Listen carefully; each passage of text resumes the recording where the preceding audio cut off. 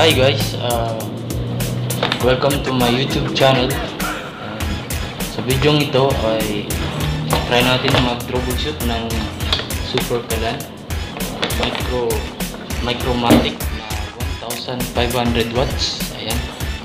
Ayan po. Try natin. No power po kasi siya kasi uh, nasunog po. Nasunog po yung saksakan niya. Pero try pa rin natin na loob para ma-check natin ng maayos. So, ayan. So, ayan nga guys, no? Ah, bubuksan na natin to. So, apat po. Ito, ito. So, dito, yung screw niya. So, dandahan lang tayo sa ano niya.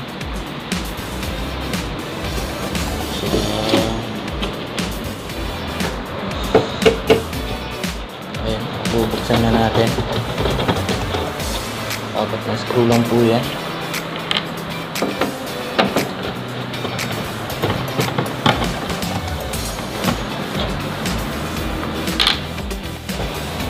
Bubuksan na natin.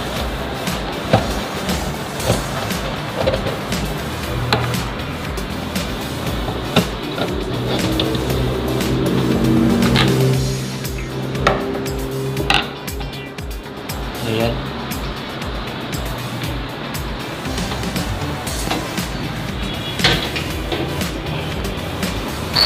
So ngayon, ay hahanapin muna natin yung koneksyon ng saksakan saan galing. So dito po siya. Sa nakikita nyo guys, no? Ah, parang may ano siya, fuse.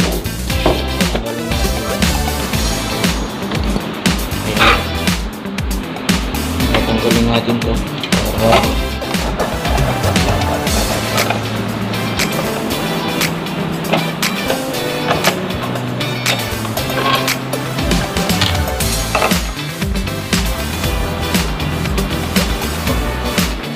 So nakita nakikita natin guys no? Ah ito may fuse.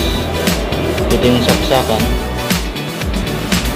Tsaka ito yung papuntang switch ito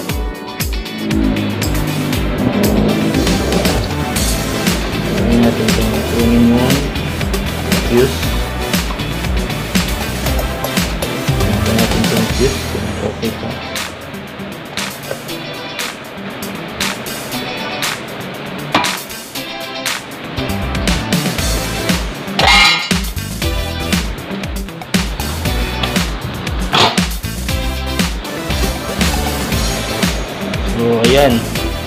May nadamay nga. Sunog na sunog yung isang fuse. Ayan, sa natin. So, nakita natin yung fuse na sunog na sunog. At i-tester pa natin ito sa ohms siya. So, pag ito tumunog, okay po. Pag hindi, ay sira na po siya. Ayan. Dapat tutunog po kasi. Ayan. Parang ganito. Parang ito.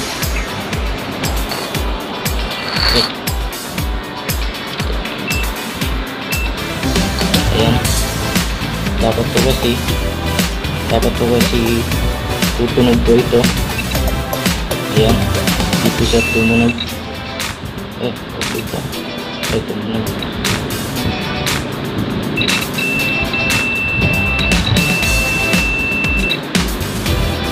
Tumunog pa siya.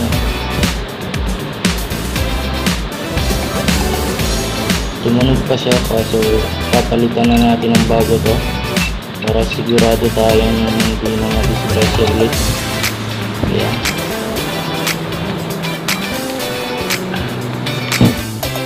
Palitan natin ng fuse at saka yung saksakan. Ito. Natin tanggalin ito.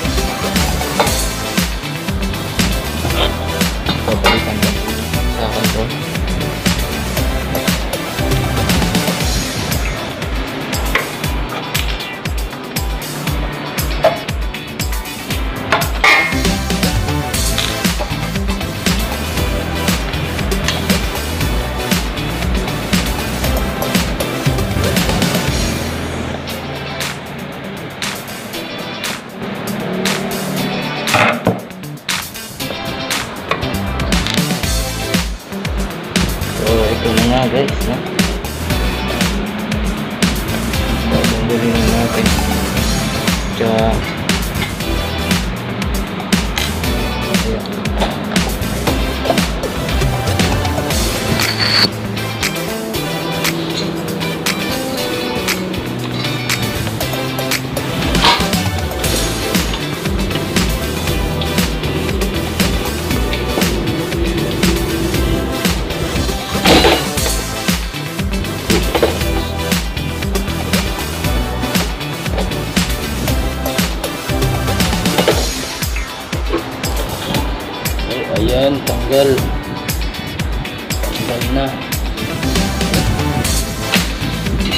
Yun. Natin. Saksakan.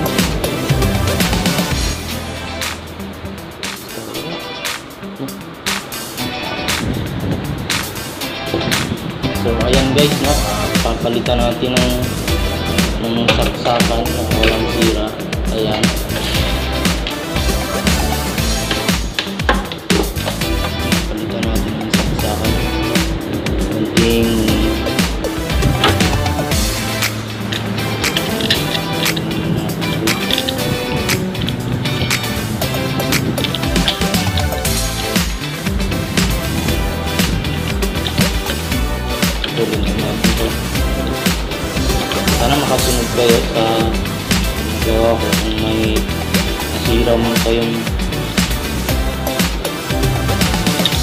man kayong ganito.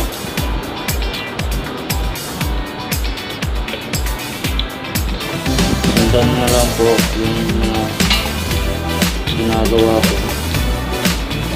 Sana makasunod ko para maka nakatulong naman po ako. Kahit konti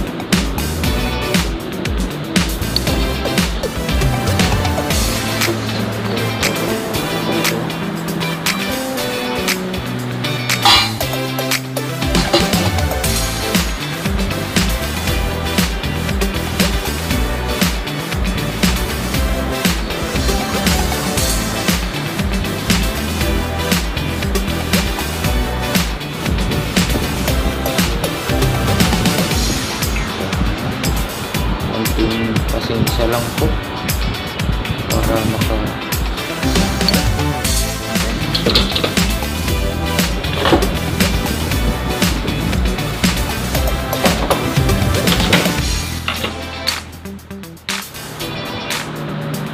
patuloy natin yung mahabang natirang wire kasi kasi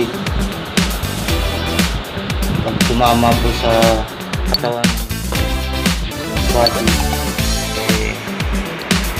baka po magka-ground tayo. Ayan. Ibabalik na natin.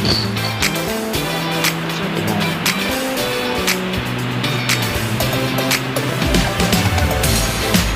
At siguraduhin tama ang pagkapit. Positive, negative. Ayan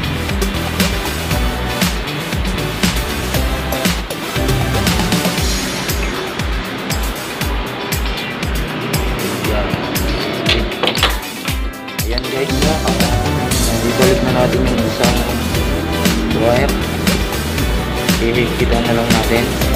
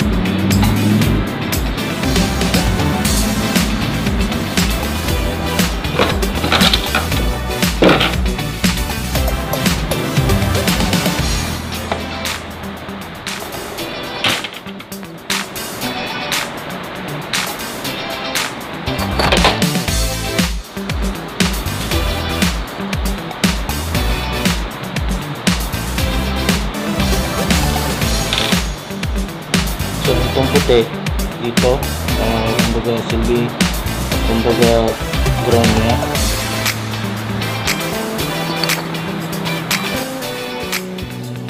Ngayon guys, no, uh, uh, piniko, finish contact natin. Ayan, uh, ito po yung ginawa ko, kinabit ko yan. Yung may tambaga na ano, wire para umigpit po yung yung fuse ayan bali dito po yung saksakan niya sa dulo ayan papunta dito sa fuse ayan ayan po siya.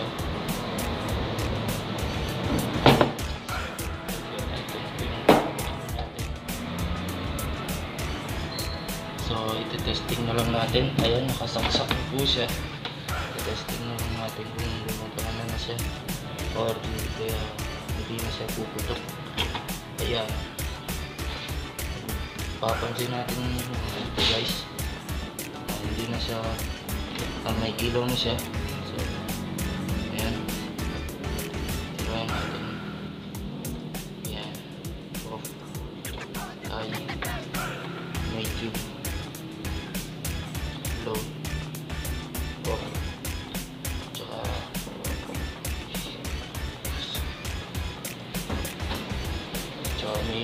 Siya.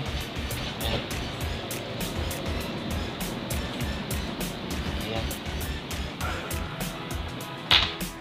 So, ayan guys.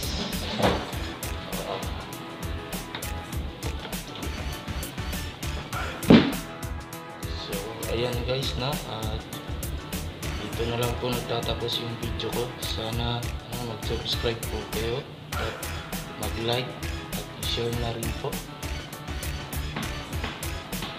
Please subscribe to my channel. So, ayan.